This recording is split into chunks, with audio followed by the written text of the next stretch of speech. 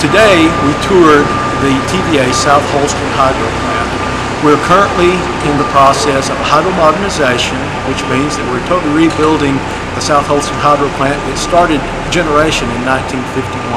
Our project started July 31st, 2017, and is expected to end in April of 2018 with complete modernization of this facility. Behind me, you see the generator housing. This ha- is where the actual power is being generated. We're currently in, in the process of rewinding that generator and also uh, building a new rotor to go with it as well. The uh, project itself also placed the turbine assembly as we go forward and look forward to getting uh, the South Holston Hydro Plant back in operation for the Valley in 2018 and 18.